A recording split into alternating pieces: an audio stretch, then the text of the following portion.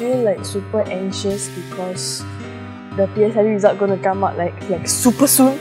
Like it's gonna be like 11 o'clock already. But yeah, all the best. Bye.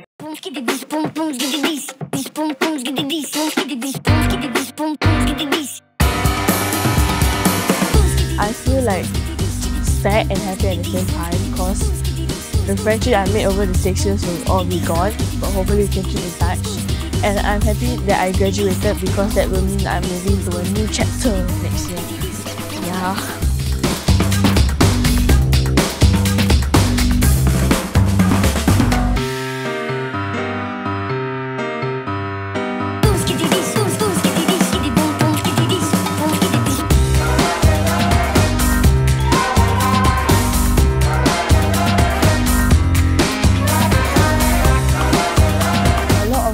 People uh, made a significant impact on me, but the person I felt closest was was my P1 teacher, Madam Lim, who was unfortunately moved out this school.